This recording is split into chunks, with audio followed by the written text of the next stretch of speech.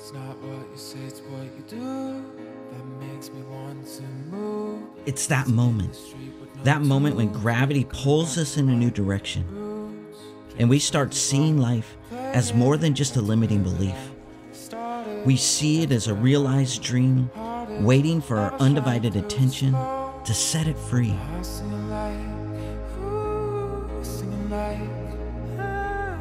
Can we listen to the message delivered? Can we embrace awareness enough to pull possibility closer?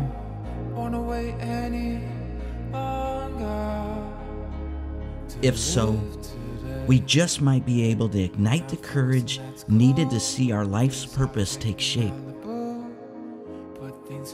Why was I waiting so long to embrace the whispering words of encouragement over the years? And why was I so worried about what others may think when being different is always proven to set us on a course of endless possibility?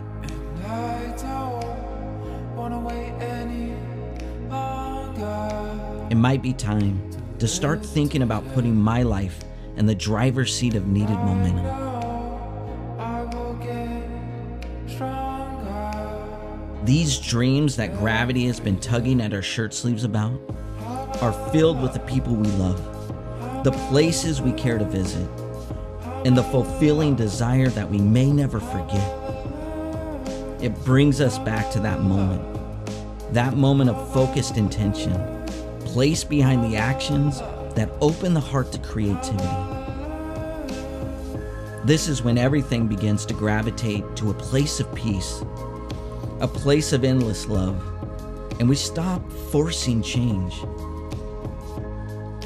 We begin to trust that the pieces placed in front of us will develop into something incredible, even if we can't see it just yet. And I don't wanna wait any longer. Align the mind and heart in a way that lets the soul present itself with a true focus of innovation. Hiking in Malibu, put things in a new I've come to realize that if I can separate myself from the smallest distractions, I begin to shift my attention towards the needed transformation. When the building blocks of change are neatly stacked over time, our long awaited dreams start presenting the small wins that lead up to big things.